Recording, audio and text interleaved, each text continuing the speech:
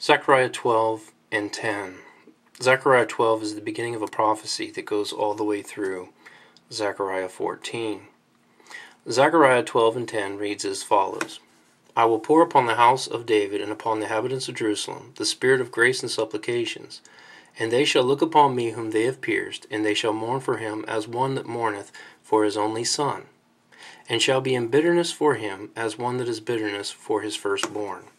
Now, this is presented by those who tried to claim that Jesus is the Most High God, to suggest that God, speaking through the prophet, is saying that he was the one that was pierced. But if we take a closer look at it and put it in context, we can go up to verse 8 and we can remember that the prophecy begins at the beginning of 12 and it goes all the way through 14, that it's actually talking about the millennial reign of Jesus Christ and his return. And if we go back to verse 8 and we start there, rather than taking one verse and running with it, and put things in context, we can get a greater understanding of what's actually being said here. In that day, the day there is the time in which Jesus will return. It's the millennial reign. A day to the Lord is a thousand years, a thousand years is one day shall Jehovah defend the inhabitants of Jerusalem, and he that is feeble among them in that day shall be as David. And the house of David, the house of David is the throne of David in which Jesus will sit, shall be as God. So the house of David shall be as God as the angel of Jehovah before them. Now, Jesus being called God here does not mean that it's referring to the Most High God, but it could. He shall be as God, as the angel of Jehovah before them. Now we look up this word angel here, and it is mal'ak, and it means messenger.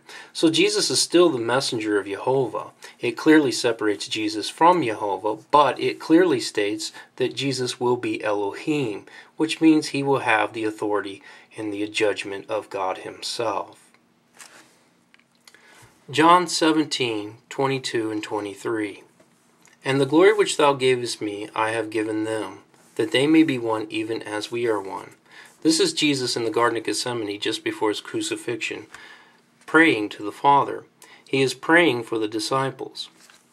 I in them, and thou in me, that they may be made perfect in one, that the world may know that thou hast sent me and hast loved them as thou hast loved me.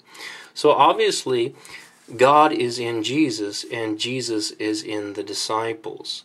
So Jesus, in the same way, is one with the disciples as God is one with Jesus. Matthew 25, verse 39. Or when saw we thee sick or in prison, and came unto thee? And the king shall answer and say unto them, Verily, I say unto you, insomuch as ye have done it unto one of the least of these my brethren, ye have done it unto me. So obviously, Jesus has the same philosophy as the, Father. If you've done anything to the least of Jesus' brethren, then you have done it unto Jesus himself. So, most certainly, in Zechariah 12, if you have done something, such as pierced or crucified Jesus, then you have pierced and crucified the Father himself. For the Father is in him, and Jesus is in the church. So whatsoever you do unto the church, you have done it unto Jesus. And whatsoever you do unto Jesus, you have done it unto the Father.